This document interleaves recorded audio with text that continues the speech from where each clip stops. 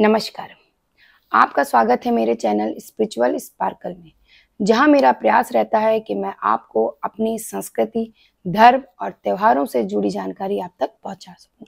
साथ ही साथ ये भी प्रयास रहता है कि ये जानकारी सरल और सहज भाषा में हो और साथ ही साथ विश्वसनीय भी हो, जिसके लिए मैं संदर्भ लेती हूँ अपने वेदों का, पुराणों का और धार्मिक ग्रंथों का।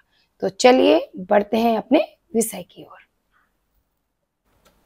नमस्कार जो हमारे साथ नहीं हैं वो हमारे भीतर हैं। क्या हम उनकी मृत्यु के बाद उन्हें भूल जाएँ? कतई नहीं। तो आज का हमारा विषय है कि श्राद्ध पच पितर पच कब से कब तक? और अगर आपको अपने पूर्वजों की मृत्यु तिथि याद नहीं है तो उनका श्राद्ध कब करना चाहिए? अश्विनी महीने के कृष्ण पक्ष के पंद्रह दिन श्राद्ध पच कहलाते हैं। ये तो क्या आप जानते हैं कि श्राद्ध का शाब्दिक अर्थ क्या है? श्राद्ध यानी श्रद्धा से जो अंजलि दी जाती है उसे श्राद्ध कहते हैं। पूर्वजों के ऋण से मुक्त होने के लिए श्राद्ध कर्म पूर्ण श्रद्धा से करना चाहिए। श्राद्ध कर्म ना करने से ऋण से मुक्त नहीं मिल सकती है। इसलिए श्राद्ध पक्ष में उनकी मृत्यु तिथि पर विधि विधान युक्त श्राद्ध करने का यह उचित समय है। इसी से ऋण उतर सकता है। माना जाता है जो लोग पितृ पक्ष के दौरान पितरों का तर्पण करते हैं, उन पर पितृदेव यानी पूर्वज प्रसन्न रहते हैं और जीवन में सुख समृद्धि का आशीर्वाद देते हैं। अब आइए जानते हैं कि 2023 में श्राद्ध पक्ष की शुरुआत कब से है। इस वर्ष 29 सितंबर 2023 से 14 अक्टूबर 2023 तक श्राद्ध पक्ष रहेंगे।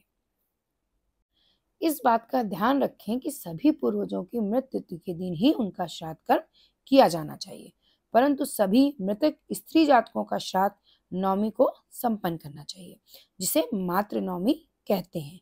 जो 7 अक्टूबर 2023 को शनिवार को है।